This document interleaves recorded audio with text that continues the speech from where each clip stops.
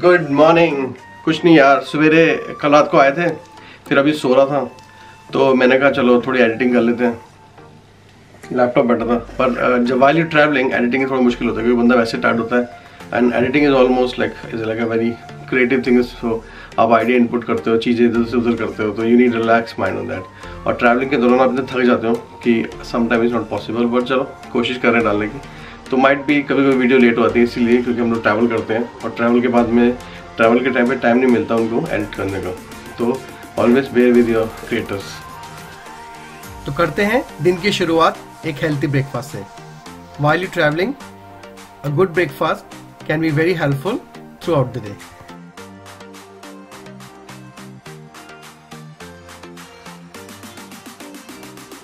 So after a lovely breakfast, we are back on road.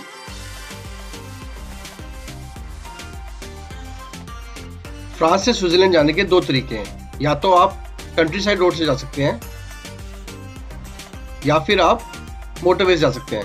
अगर आप country side road choose करते हैं तो नज़ारे कुछ इस तरह के होते हैं। और आप कहीं भी रुक के लोकल टाउन को एक्सप्लोर कर सकते हैं।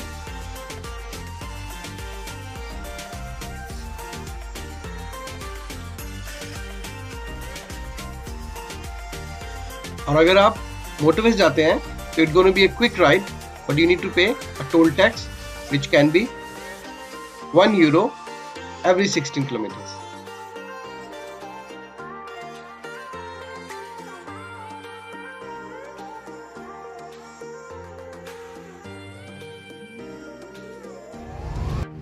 Europe में ट्रैवल करना इजी है। ऑब्वियसली यहाँ पर इंडिया की तरह ड्राइव जो है, उल्टी तरफ़ है। बट मेक श्योर रोड के सेंटर में चलाएँ गाड़ी को। सबसे इजी रहता है हमारे लिए।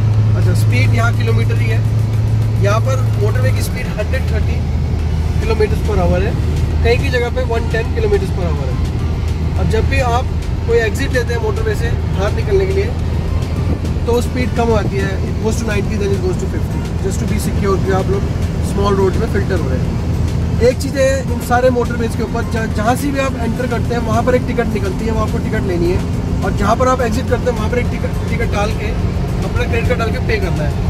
आप प्लीज़ एक क्रेडिट कार्ड ज़रूर कैरी कीजिए, क्योंकि इस कंट्री के अंदर मोस्टली जगह पे क्रेडिट कार्ड ही लेते हैं, लोग नहीं है तो मशीनों में यूज़ करना पड़ता है। तो make sure at least you carry one और टू क्रेडिट कार्ड ताकि आप इनको यूज़ कर सकें।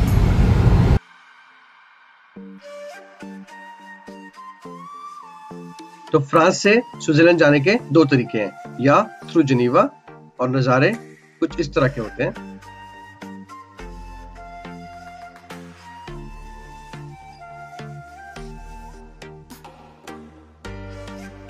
या थ्रू ज्यूरिक और नज़ारे कुछ इस तरह के होते हैं।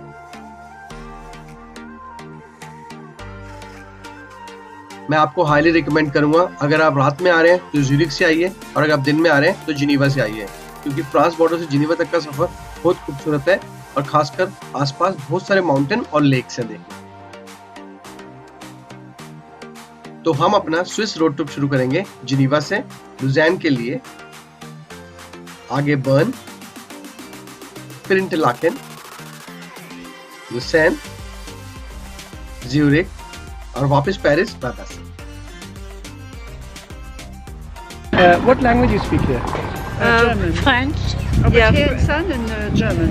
German. There, there, there are several languages in Switzerland. There's Okay. uh, German, there's French, and there's uh, Italian, Yeah. and there's there's a language called the Romanche too, which is really in some small parts of Switzerland. And what's the reason why speaking different language? Is it because the the Switzerland is actually in between all these borders? That's yeah, why. and the, originally they're, they're people that were originated from France or from Switzerland, from from Germany. So, or but do you understand each other or no?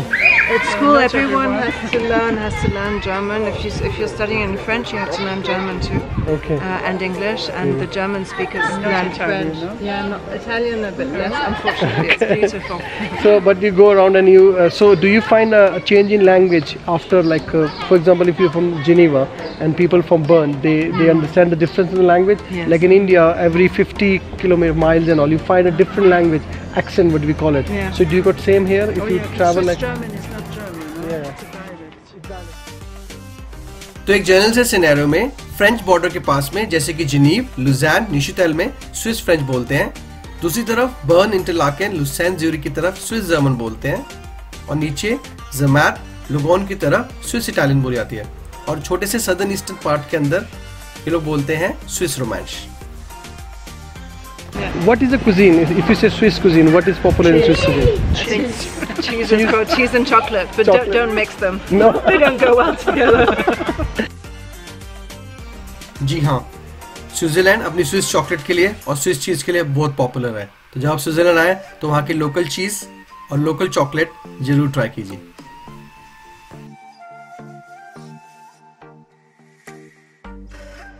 Switzerland का motorway toll tax सबसे easy toll tax है। आपको वहाँ से एक 40 check Frank का एक sticker लेना होता है, जो कि आप किसी भी पेट्रोल स्टेशन से या फिर बॉर्डर एग्जिट या एंट्री पॉइंट से ले सकते हैं और अपनी गाड़ी में प्लेस कर सकते हैं। ये स्टिकर पूरे एक साल तक वैलिड होता है तो आप इसको दोबारा भी जाके यूज़ कर सकते हैं, अगर आप पूरे एक साल में दोबारा ट्रैवल करते हैं तो।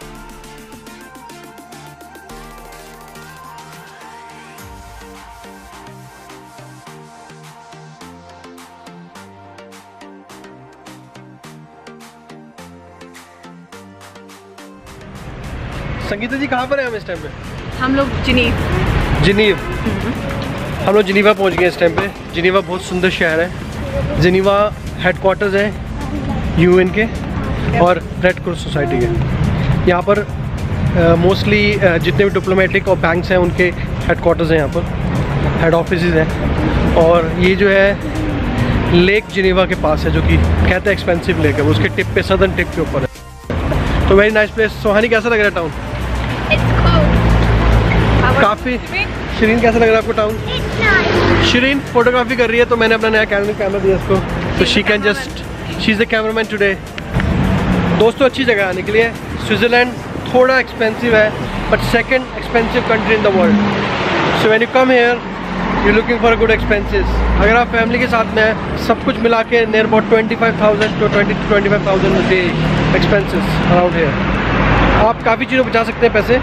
जो मैं आपको आगे जाने वाले वीडियो में बनाऊँगा और जिनीवा की ब्यूटी को साथ साथ में, अगर आपको इन्फॉर्मेशन चाहिए शेंगन वीज़ा तो देखना ना भूलिएगा, मेरा next blog completely dedicated to Schengen visa जिसमें मैं आपको बताऊँगा कि शेंगन वीज़ा है क्या, पूरा प्रोसेस क्या है, कितना खर्चा आता है, कैसे अप्लाई कर सकते हैं, और क्यों बहुत सारे केसेस में वीज़ा रिफ्यूज हो जाता है।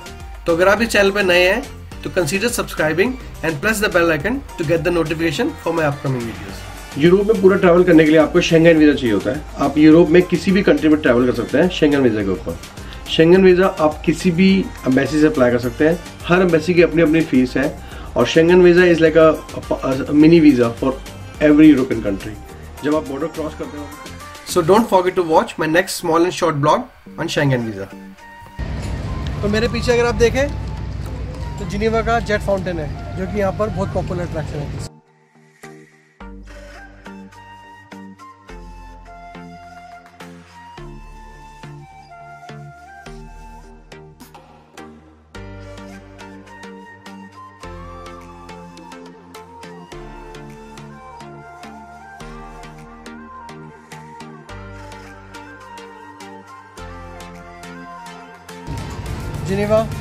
आसपास घूमने के लिए बहुत अच्छी हिस्टोरिकल बिल्डिंग्स हैं और लेक के आसपास आप पूरा वॉक कर सकते हैं। ये लेक रॉन है, जो कि बहरी नीचे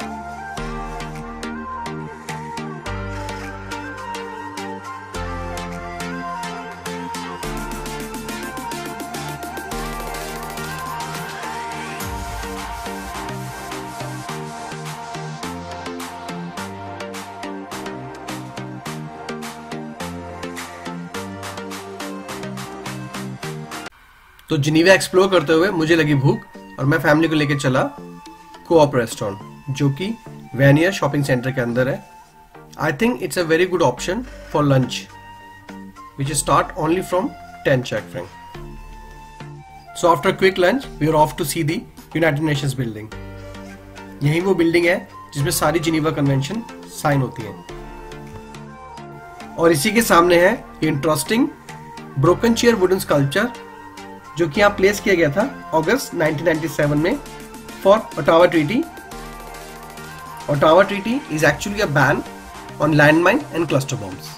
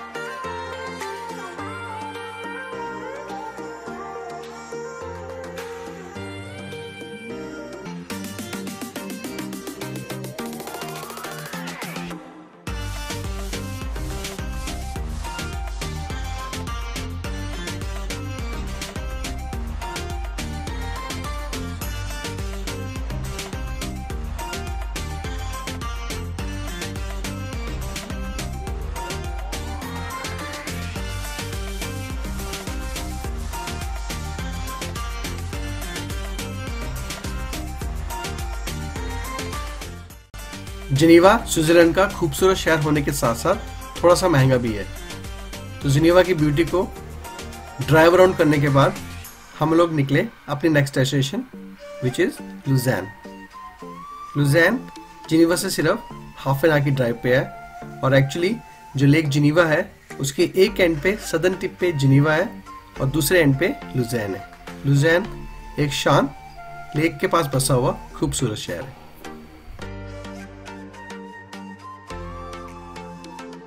लुजैन एक लेक सिटी है और फ़ेमस है अपने गॉथिक कैथेड्रल्स के लिए और मेडिवल ओल्ड सिटी के लिए। लुजैन होम है इंटरनेशनल ओलंपिक कमेटी का तो we decided to visit the Olympic museum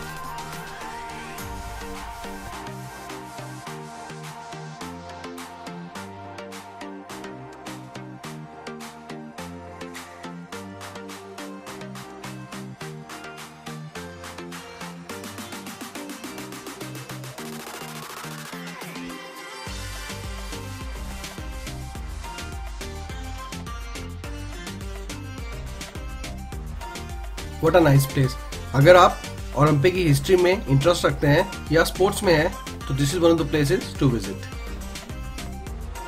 and specially for kids there so many games to play indoor and outdoor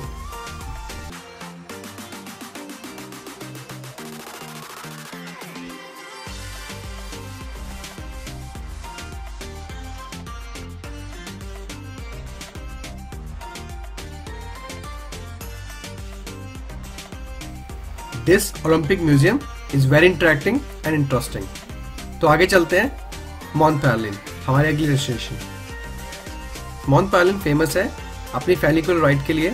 Ticket start from fourteen franc for done ten franc for kids और अगर आपके पास Swiss rail pass है तो it's free it's a 15 minute ride in this funicular van which take you to the mountain